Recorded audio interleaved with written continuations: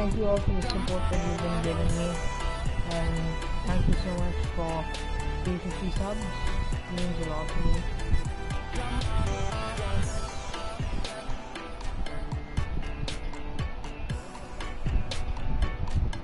I haven't streamed in about four weeks, so I want to make the stream good and hopefully get that win for y'all.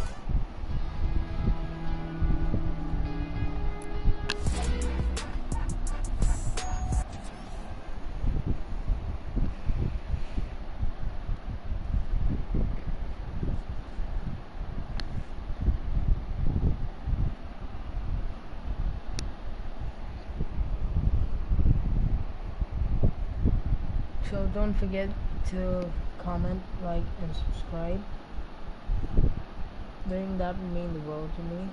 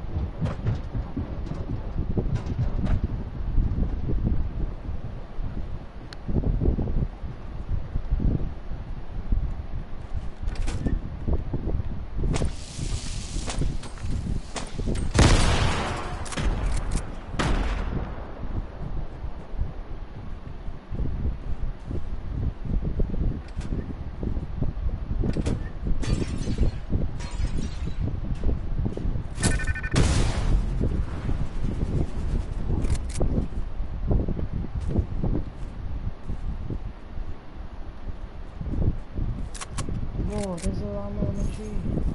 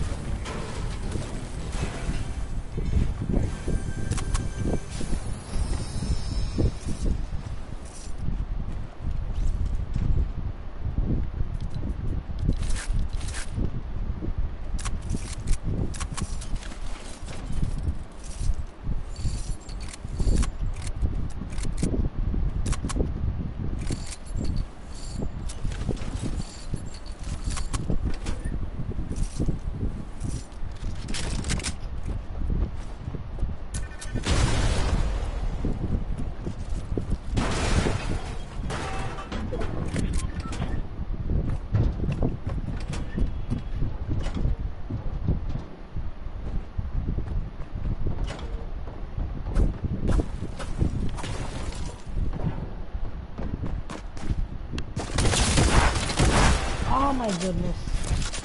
The shots had to hit him. He was on 50 HP.